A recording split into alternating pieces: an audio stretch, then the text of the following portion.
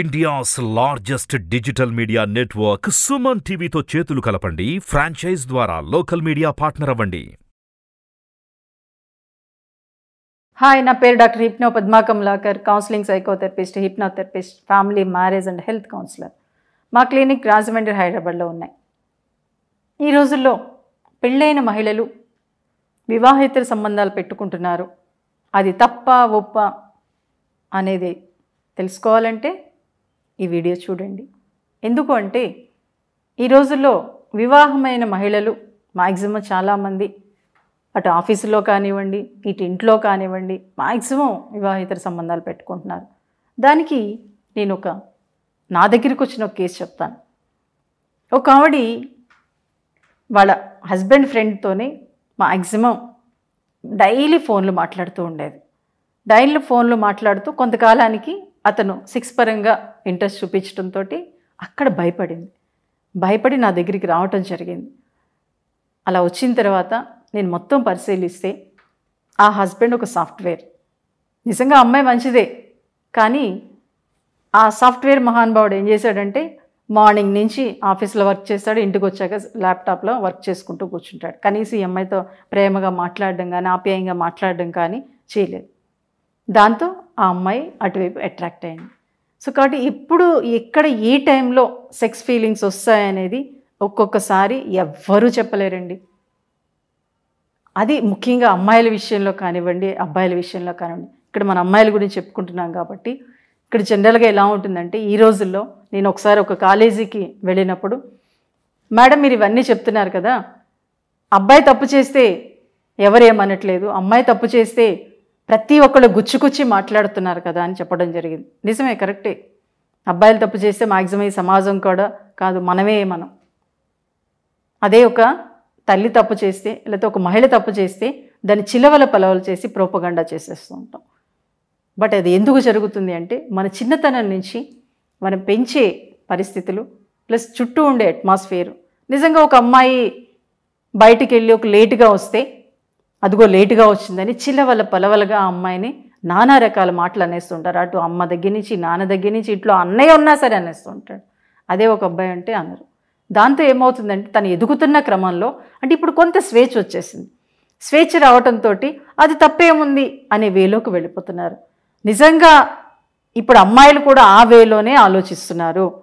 ఏ sex అనేది ఆ కాసేపే కదా తప్పేంటి అనే వేలో ఆలోచిస్తూ ఇలా అక్రమ సంబంధాలు పెట్టుకోవడానికి మ్యాక్సిమం చాలామంది మహిళలు అలా చేయడానికి ముందుకెళ్తున్నారు. కానీ అది అమ్మాయిలుగా మహిళలుగా అది మనకే తప్పు.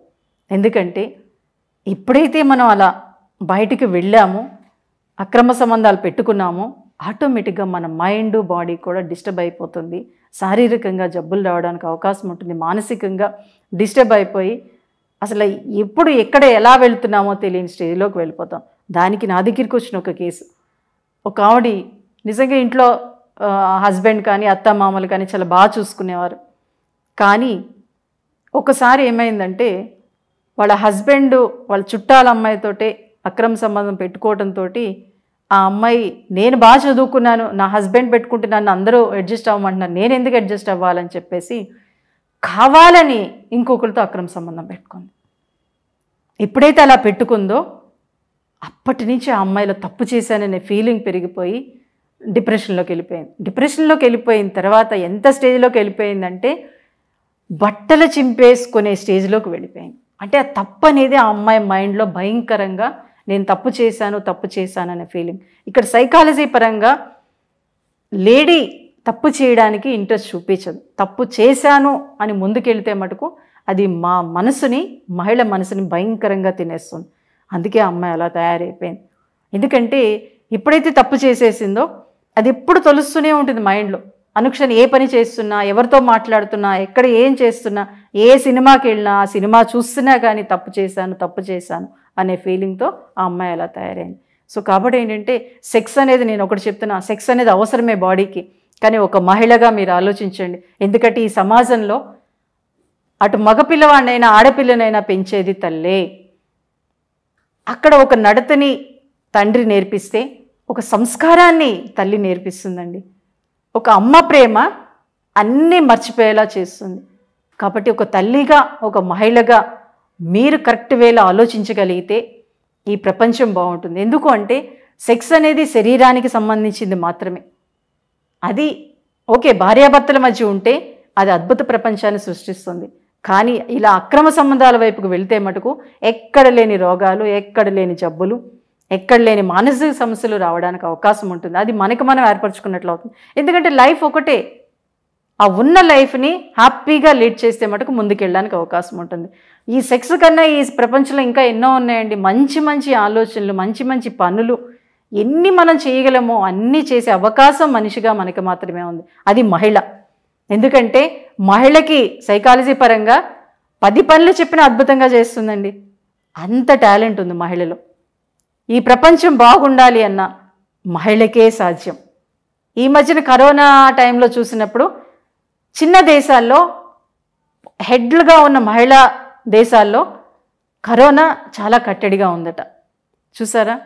అంటే మహిళ అక్కడ హెడ్గా ఉండి తను ఏ పనైనా చేసిందంటే అది కరెక్ట్ వేలో చేస్తుంది. సో కాబట్టి ఇప్పుడు అమ్మాయిలు మీరు కూడా ఆలోచించండి. ఎందుకంటే నేను చూస్తున్నా ఇది పాపం చదువుల పేరుతో సిటీస్కి వచ్చేస్తున్నారు సిటీస్కి వచ్చేసి ఆ సెక్స్ది ఏముంది? ఆ ఏ పడుకొని వచ్చేస్తున్నాం అంతే కదా అని ఆలోచిస్తున్నారు. అది రాంగ్.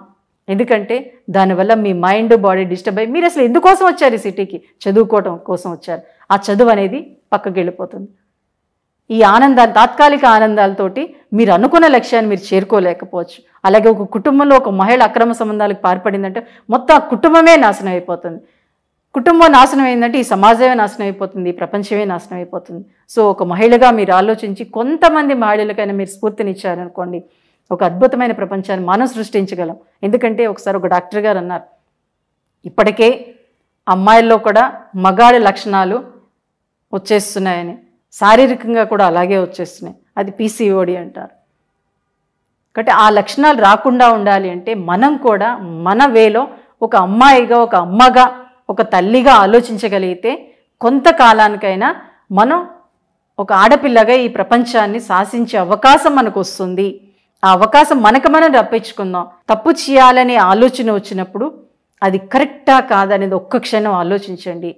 అప్పుడు ఇటువంటి తప్పులు జరగకుండా ఉంటాయి. ఎందుకంటే సెక్స్ అనేది ఒక్క క్షణం సెక్స్ కోసం ఆలోచిస్తే ఇరవై మూడున్నర గంటలు సమయాన్ని మనం వృధా చేసినట్లే. ఎందుకంటే ఈ క్షణం తప్పు చేస్తే ఆ ఇరవై మూడున్నర గంటలు మన తప్పు కోసమే ఆలోచిస్తూ ఆ తప్పు కోసమే తపన చెందుతూ మనం మానసికంగా శారీరకంగా డిస్టర్బ్ అయ్యి మన కుటుంబాన్ని నాశనం చేస్తాము ఈ ప్రపంచాన్ని నాశనం చేస్తాం. సో కాబట్టి మీ పిల్లలు మీరు హ్యాపీగా ఉండాలి అంటే మీరు చేసే తప్పుని ఒక్క క్షణం ఆలోచించి అది మంచిదా కాదని ఆలోచించి ముందుకెళ్ళండి. అప్పుడు ఆ తప్పులు జరగకుండా మీరు చూడగలుగుతారు. అలాగే మీ ఇంట్లో లేకపోతే మీ చుట్టుపక్కల ఎవరైనా అమ్మాయిలు అలా ఉన్నా సరే ఎందుకంటే మీకు తెలిసినంత బాగా ఎవరికి తెలియదండి. ఒక అమ్మాయి తప్పు చేస్తుందంటే ఆ అమ్మాయి చూచే చూపులో కానీ ఆ అమ్మాయి ప్రవర్తించే విధానంలో కానీ ఒక మహిళకే తెలుస్తుంది. సో కాబట్టి ఒక మహిళగా చుట్టూ ఉండే అమ్మాయిలు కూడా మీరు పరిశీలించి వాళ్ళు ఏమైనా తప్పులు చేయడానికి ముందుకెళ్తుంటే మీరు దాన్ని కట్టడి చేసి ఇది తప్పు నాన్న అని కరాఖండిగా చెప్పడానికి ప్రయత్నించండి. ఎందుకంటే మీరు కరాఖండిగా చెప్పలేదు అంటే ఆ తప్ప ఆ అమ్మాయి ఒక్కతే కాదు చుట్టూ ఉండే ఫ్రెండ్స్ని కూడా చేయించేలా చేస్తుంది. సో కాబట్టి అలా చేయకుండా ఉండాలి. ఈ ప్రపంచం బాగుండాలి మన కుటుంబం బాగుండాలి. ఎందుకంటే ఇతర దేశాలు మన కుటుంబాన్ని చూసి ప్రేమిస్తున్నారు అభిమానిస్తున్నారు. సో దాన్ని నిలబెట్టుకోవాలంటే ఒక మహిళగా మీరు కరెక్ట్గా ఉండండి కరెక్ట్ వేలో ఆలోచించండి. ఎప్పుడైతే మీరు కరెక్ట్గా ఆలోచించారో ఇంకొంత మంది మహిళలు దాన్ని ఆచరిస్తూ ముందుకెళ్తూ మరింత గొప్ప ప్రపంచాన్ని సృష్టించే అవకాశాన్ని కల్పిస్తారని తెలియజేస్తూ థ్యాంక్ యూ ఎవరిబడి.